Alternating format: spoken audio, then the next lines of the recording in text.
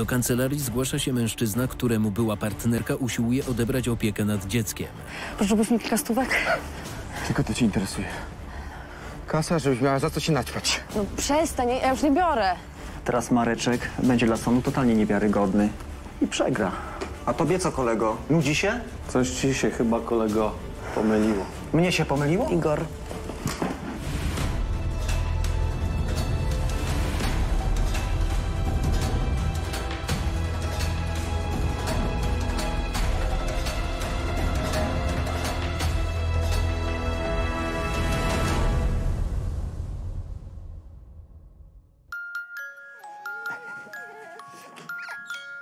Już jestem. Teresa. Cholera. Teresa. Teresa. Coś tu narobiła. Już, kochani. Jeszcze chwilę. Już, kochani. Teresa. Teresa. Obudź się, słyszysz mnie? Teresa! Teresa! Przedstawiane historie oparte są na prawdziwych sprawach z polskich sądów.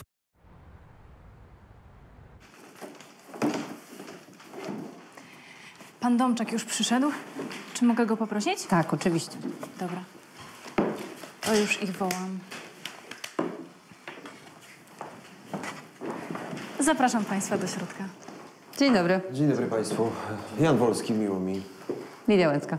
Marek Domczak, a to moja siostra Asia. Joanna Domczak, dzień dobry. Proszę, zapraszamy. Dobrze, proszę nam powiedzieć, czym Państwo do nas przybywacie. Nie wiem od czego zacząć. Chodzi o mojego synka i moją byłą partnerkę. Jego matkę, tak? Y, Tak. Jak poznałem Teresę 4 lata temu, to, to straciłem dla niej głowę. No, po prostu zgłupiałem z miłości. To prawda. Był całkowicie zaślepiony. Nikt inny dla niego nie istniał. Wszystko bardzo szybko się potoczyło. Zamieszkaliśmy razem. Okazało się, że Teresa jest w ciąży. Trzy lata temu urodził nam się syn Max. Od razu stał się moim oczkiem o głowie. No to akurat zupełnie normalne. Tak, ale Teresa, z nią działo się coś dziwnego. Była nieobecna, nie cieszyła się tym wszystkim, traciła panowanie nad sobą, przestała opiekować się Maxem. Depresja poporodowa. Tak podejrzewałem, ale prawda jest inna. To znaczy? Przyłapałem ją na braniu narkotyków. Ona po prostu przez cały czas była naćpana, dlatego tak się zachowywała. Panie Marku, proszę powiedzieć, em, Pana była partnerka miała wcześniej jakieś problemy z narkotykami? Okazało się, że tak. Ale Marek nie zdążył tego odkryć. Za krótko się znali. Próbowałem jej pomóc. Przekonać, żeby rozpoczęła leczenie. No tak, to dosyć trudne. Często osoby uzależnione bronią się przed terapią. Dokładnie. Zaprzeczała. Mówiła, że nie ma żadnego problemu. Ale ja bałem się, że ona po prostu skrzywdzi naszego synka, że, że coś się stanie, że czegoś nie dopilnuje. Zatrudniałem opiekunki jedną za drugą, ale po tygodniu, dwóch po prostu odchodziły. Ja starałam się częściej zostawać z Maxem, ale mam bardzo wymagającą pracę. No tak, ale po czasie problem sam się rozwiązał, ponieważ Teresa z dnia na dzień się wyprowadziła. Przestała też odbierać telefony. Po prostu zniknęła. Próbowałem jej szukać, ale to, to było bez sensu. Nie miałem pojęcia, gdzie mogła pójść. Pan podjął wtedy jakieś kroki prawne w związku z dzieckiem? Yy, tak, yy, próbowałem uregulować naszą sytuację. Mieć papier, że Max jest pod moją opieką. Dzięki matce Teresy udało nam się z nią skontaktować. Teresa zgodziła się, żeby Marek przejął opiekę nad Maxem. Ona miała sądownie wyznaczone kontakty z dzieckiem, ale nawet z tego nie korzystała. Tak, całkowicie zerwała z nami kontakt. I ani razu nie próbowała zobaczyć się z dzieckiem. Nie, no jakby Max dla niej nie istniał. A on, on długo płakał za mamą, no bo nie wiedział, co się dzieje. Ostatnio w przedszkolu był Dzień Matki. To, to, to, to, jak to wytłumaczyć dziecku? Żałuję, że, że od razu nie pozbawiłem jej praw rodzicielskich. Ona nie zasługuje na miano matki. Czyli pan właściwie przez e, te dwa lata nie wiedział, co się dzieje z panem byłą partnerką? Nie, znaczy widziałem ją kilka razy na mieście, ale wyglądała strasznie. Prawdopodobnie przez cały ten czas ćpała. Marek? Jak dobrze cię widzieć. Dobrze mnie widzieć? Zapomniałaś już o tym, co zrobiłaś? No przestań, przecież ja... Że od nas uciekłaś? Że zostawiłaś swojego syna? Przecież Max, Max to jest dziecko, on, on płakał za tobą, nie widział, co się dzieje. Przestań! Przecież ja nie chciałam nikogo skrzywdzić, tak? Tak po prostu wyszło, no. Po co do tego wracać? Słuchaj, ja... Ja wiem, że to głupie, ale pożyczyłbyś mi kilka stówek? Ja teraz mam taki mały problem z kasą, wiesz. Chciałam... Tylko to cię interesuje. Kasa, żebyś miała za co się naćpać. No przestań, ja już nie biorę. Nawet nie zapytałaś się o Maxa, czy, czy, czy wszystko w porządku, jak się czuje. Nic, tylko kasa się dla niej liczyła. I ciągle tak jest. Cztery miesiące temu dostałem pismo z sądu. Teresa złożyła wniosek o, o odebranie mi prawa do opieki nad synem. No, chciała, żeby Max z nią zamieszkał. No, byłem w szoku. Jak ona w ogóle śmiała? Panie Marku, pan wybaczy, że zapytam, ale zastanawiał się pan, co nią kierowało, ponieważ z tego, co pan mówi, jak wnioskuje, przy tym stylu życia, to dziecko byłoby dla niej tylko problemem. No, tak, tak, zastanawiałem się, ale szybko do mnie dotarło, że chodzi po prostu o aliment. Brat jest programistą, dobrze zarabia. Gdyby Teresa naprawdę przejęła opiekę nad Maxem, mogłaby dostać wysokie alimenty. A pieniądze za przeproszeniem przepieprzyłaby na narkotyki zamiast zadbać o syna. No, przez dwa lata nawet grosza nie dała. Dobrze, a czy rozprawa już się odbyła? E, Tak, zatrudniłem prawnika, wspólnie przygotowaliśmy się do tej rozprawy, ale w sądzie Teresa kłamała jak snud. Marek zaraz po ślubie zaczął mnie bić. Z czasem było coraz gorzej. Ja bałam się, że mnie w końcu po prostu zabije. Dobra, Dlatego musiałam od niego uciec. Ja nie mogłam tam dłużej zostać. Potem chciałam wrócić po synka, ale on nie chciał mnie wpuścić do domu. Nie pozwalał mi się z nim spotkać. Czemu nie złożyła pani wcześniej wniosku do sądu o wyegzekwowanie kontaktów z synem? Bałam się. On... On groził, że zrobi krzywdę Maksiowi, jeśli pójdę do sądu. Ale w końcu zebrałam się na odwagę. co ty bredzisz? Ja nigdy bym mu nic nie zrobił. Proszę nie przeszkadzać. On kłamie. Ja boję się, że kiedy odeszłam, on... On zaczął znęcać się nad moim synkiem. Ja... Ja chcę dostać moje dziecko. Chcę móc je znowu przytulić. Nie, nie, to, to są jakieś ob- obrzydliwe kłamstwa. Ona nie może mnie tak bezkarnie oczerniać. Ja nigdy nikogo nie uderzyłem. Proszę usiąść i zachować spokój. Inaczej nałożę na pana karę porządkową. Proszę kontynuować. Jak sobie przypomnę, co, co ona wygadywała w tym sądzie, to aż, to aż mi niedobrze się robi. No, miałbym ją bić albo Maxa. A pana była partnerka miała jakieś dowody na te słowa? Nie, skąd? Żadnych. Znaczy, jej matka potwierdziła przed sądem, że stosowałem przemoc. Zdziwiłam się. Zawsze bardzo lubiła Marka. Widocznie Teresa ją zmusiła. No dobrze, proszę Państwa, a czy mm, sąd już wydał postanowienie w tej sprawie? Tak, przedwczoraj. A cały ten sędzia nawet się nie zawahał. Zdecydował, że miejsce Maxa jest przy matce. A mi ograniczył prawa rodzicielskie. Nie rozumiem, jak to w ogóle jest możliwe. Max na razie jest u mnie, dopóki postanowienie się nie uprawomocni, ale chce się odwołać. Wypowiedziałem już pełnomocnictwo poprzedniemu adwokatowi. Potrzebuję kogoś, kto w stu procentach zaangażuje się w moją sprawę. Panie Marku, oczywiście rozumiemy to stanowisko i pomożemy panu w tej sprawie i złożymy apelację. Dziękuję. Złożyliśmy do sądu wniosek o uzasadnienie postępowania i dostęp do akt. Musieliśmy przeanalizować wszystkie dowody i zeznania, zanim przygotujemy apelację. Prawnicy otrzymali dostęp do akt sprawy. Jeszcze w sądzie wstępnie je przeanalizowali. Nie wiem, tak się ciągle zastanawiam. Wydaje mi się, że sędzia bardzo bezrefleksyjnie wydał to orzeczenie. Ja też jestem takiego zdania. Nawet jeśli dał wiarę zeznaniom matki, to powinien dokładnie sprawdzić wersję naszego klienta. Właśnie. Zwłaszcza, że jest mowa o narkotykach.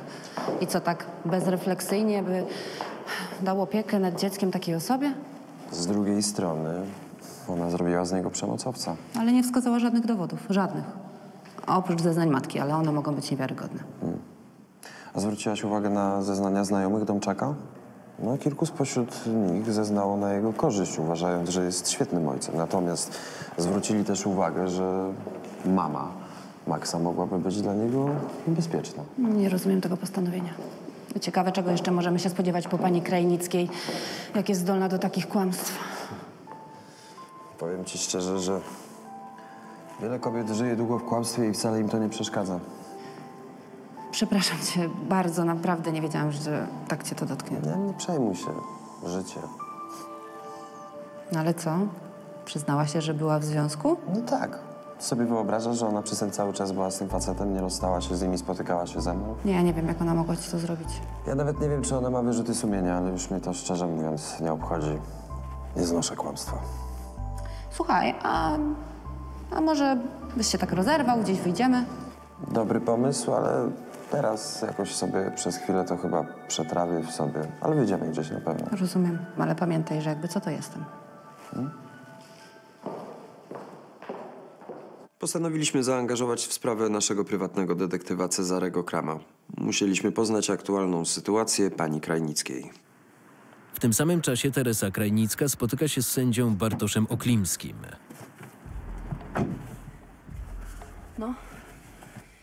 Co takiego ważnego chciałeś mi powiedzieć?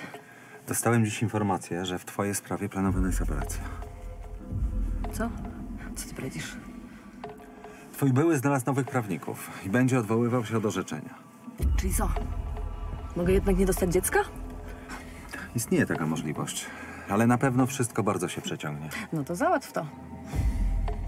Ale to niemożliwe. Rozumiesz? Lepiej dla ciebie, żebyś zajął się tym jak najszybciej. Wiesz, że możesz stracić wszystko? Staram się coś załatwić. Super. E, dobra, jedziesz może w stronę centrum? Podrzucisz mnie? Nikt nie może nas razem zobaczyć. Jezu, Bla, bla, bla, bla. Wiedziałam, że ty powiesz. No dobra, to ja spadam. Daj znać, jak ogarniesz sprawę.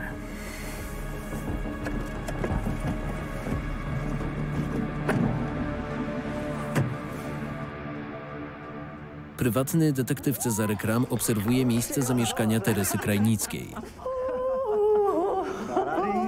Ale dobrze, to będzie iść się Do domu? Pardon? Słuchajcie, ekipa, ekipa, ale po prostu chyba trzeba jakieś żarcie zamówić, bo za chwilę padnę z głodu, a wy? O, dobrze, że chociaż mam kilka browarów, no. Chyba jakieś chipsy. Jesteśmy uratowani. Ty, to może jak odbierzesz córkę od swojego byłego fagasa, to będzie nam gotować, co? Taka wiecie, mała kuchareczka. Po pierwsze to syn, nie to co? córka.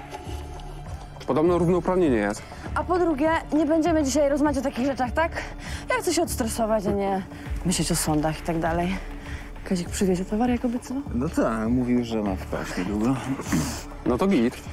Czyli dzisiaj szybko spać nie pójdziemy? Będzie impreza. A, ale ludzie, uspokójcie się naprawdę, bo sąsiedzi znowu będą mieli jakieś ale i wiecie, a Teresa potrzebuje teraz za się dobrej opinii, jakby co, O, no. no, racja, racja.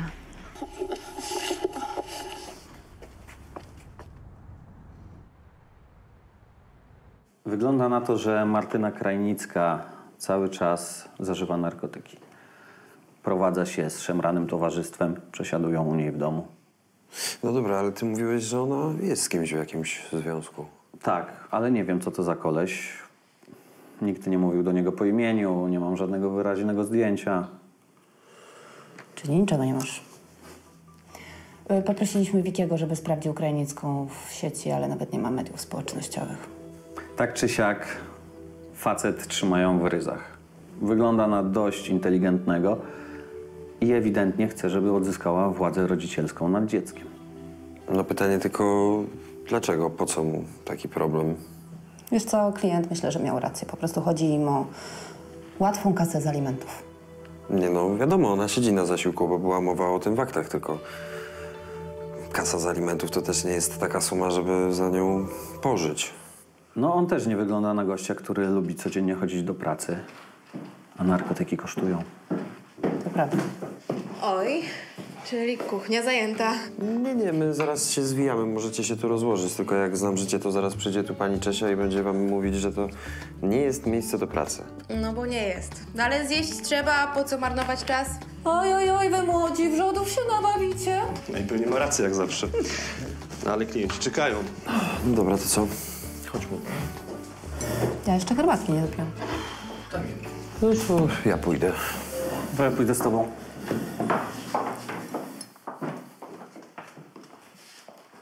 Wciąż za mało wiedzieliśmy o Teresie Krajnickiej i jej nowym partnerze. Detektyw Cezary Kram obiecał, że pogłębi śledztwo i spróbuje się dowiedzieć o nich czegoś więcej.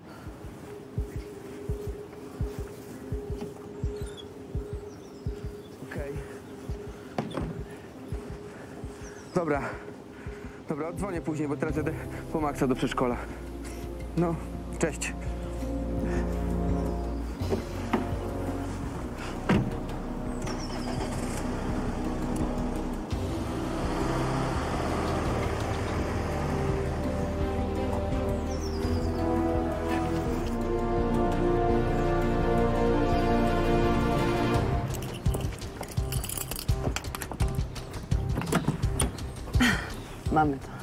Wiedziałam, że nadal nie wymienił zamków. Dobra, chodź. Kretyn.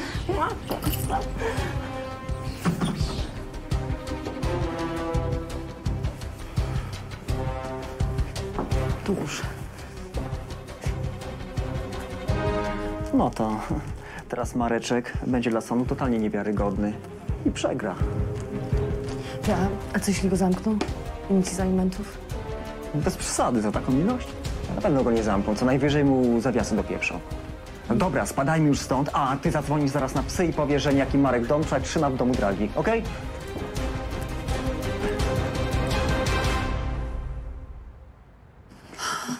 Jakie plany na dziś? Szczerze?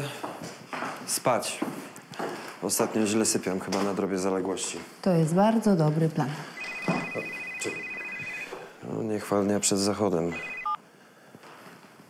Tak, słucham, Jan Wolski. Z tej strony Marek Domczak. Przepraszam, panie mecenasie, że dzwonię tak późno, ale to pilne. Dobry wieczór, panie Marku, co się dzieje? Policja właśnie przeszukuje mój dom. Nie wiem, co mam robić. Policja z jakiego powodu? Podobno dostali informację, że posiadam narkotyki. I to w domu, w którym przebywa małe dziecko. Dobrze, panie Marku, za chwilę u pana będziemy, spokojnie. Dziękuję. Gdzie mam za chwilę być? Dzwonił pan Marek, podobno jest u niego policja, przeszukują dom, ktoś zgłosił, że ma narkotyki. Chodź. No to się nie wyśpisz. Zapraszam. Dzień dobry. Dzień dobry. Jan Wolski, Lidia Łęcka. Jesteśmy adwokatami pana Domczaka. Aspirant Roman Kolaszyk. Dostaliśmy nakaz przeszukania, który już pokazywałem państwa klientowi. Na pewno Teresa za tym stoi. Nakłamała policji, żeby narobić mi problemów. Mam nadzieję, że tylko nakłamała. W tym przypadku pojedzie pan z nami. Ale, ale to, to nie moje, przysięgam. No, no ktoś musiał mi to podłożyć. To już będzie pan zeznawał na komisariacie. No ale ja nie mogę nigdzie jechać. Ja mam syna pod opieką. To proszę zadzwonić do kogoś, żeby się nim zaopiekował, inaczej zrobi to opieka. Dobrze, że zadzwonię do siostry. Ale to naprawdę nie moje. Ja nigdy nic nie miałem wspólnego z narkotykami. Wytłumaczy pan to na komisariacie. E, pojedziemy z państwem, dobrze? W tym samym czasie prywatny detektyw Cezary Kram obserwuje Teresę Krajnicką i jej partnera.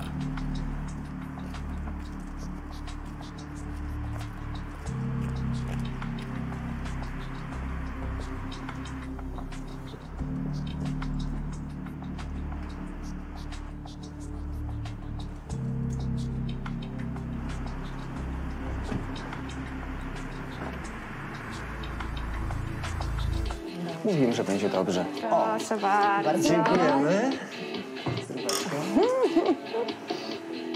Nieźle to wymyśliłeś, naprawdę. No, jestem ciekawa, jak to wszystko wyjdzie. Dzień dobry. Błagam cię, to podać? jest zajebisty plan. Wodę gazowała. Przecież on mówił o tobie jak? Perćpunko, tak? A teraz co? Sam wyszedł na totalnego kłamcę i hipokrytę. No.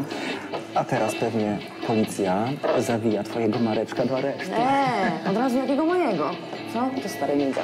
Nie. Dobrze zarabiający pan programista. teraz to musi nas interesować. Żeby tylko za szybko mi młodego nie dali pod opiekę. No. Muszę ogarnąć kogoś, kto mi z nim pomoże. Nie, no przecież twoja matka z miłą chęcią zajmie się swoim ukochanym wnukiem. No pewnie tak. Pogadam z nią. Proszę bardzo. Ale to wiesz, póki co załatwiliśmy jedną rzecz i to w sumie nie wiemy, czy nam to dużo daje. Jak to jest z tym, z tym sędzią Okliński, czy jak mu tam? Ej, właśnie nie wiem, on to taki niezdecydowany. No ale potrzebujemy go. No. A, przed chwilą wysłałam mu jeszcze raz zdjęcie jego i tej mojej koleżanki w trakcie ich pamiętnej, upojnej nocy. No i co? Napisałam mu, że jeśli do jutra nie wymyśli, co zrobić, żeby ta apelacja przepadła, to wyślę to do jego żonki. A tobie co, kolego? Nudzi się? Może zajmij się sobą, a nie nas posłuchujesz. Coś ci się chyba, kolego, pomyliło. Mnie się pomyliło? Igor. Słuchaj, odpierdol się od nas koleś, bo zaraz stąd wyleci. Igor to jakiś obcy koleś, nie ma sensu. No to niech nie wpierdala się z butami w nasze sprawy, no. Facet, kurde. No i co? Trzeba było cwanikować? Siad.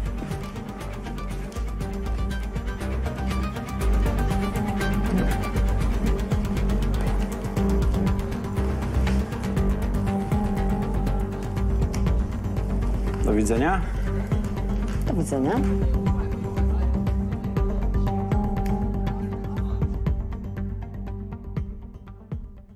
Proszę bardzo, zapraszam. E, to jest właśnie nasz prywatny detektyw. Cezary Kram, dzień dobry. Marek Domczak. Joanna Domczak. Proszę usiąść.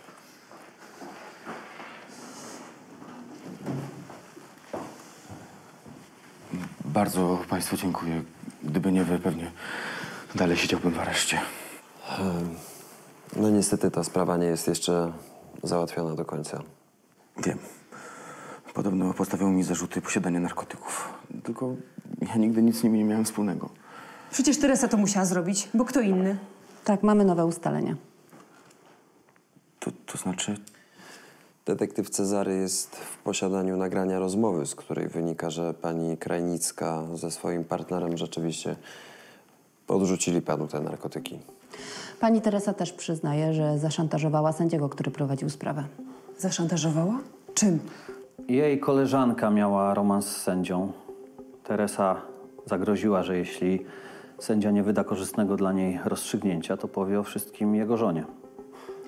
A żeby było tego mało, to pana była partnerka przyznaje, że nie ma zamiaru opiekować się państwa dzieckiem i wszystko zepchnie na matkę. Poza tym ona i jej nowy partner wspominają również o alimentach. Boże, jak, jak ona mogła to zrobić? Jeszcze podrzucić te narkotyki. A co jak mnie zamkną? To i, i mój syn zostanie sam? Mieliśmy mocny materiał dowodowy. Teraz musieliśmy tylko poczekać na termin rozprawy apelacyjnej. Dwa miesiące później sąd drugiej instancji ogłasza postanowienie w sprawie klienta prawników. Sąd oddala apelację pozwanego Marka Domczaka. Proszę usiąść. W opinii sądu apelacja nie zasługiwała na uwzględnienie. Sąd uznaje nowe dowody za niewiarygodne. Tym samym podtrzymuje rozstrzygnięcie sądu pierwszej instancji w zakresie ograniczenia władzy rodzicielskiej Markowi Domczakowi i ustalenia, że miejsce pobytu małoletniego Maksymiliana Domczaka jest przy matce Teresie Krajnickiej. Dziękuję, to wszystko.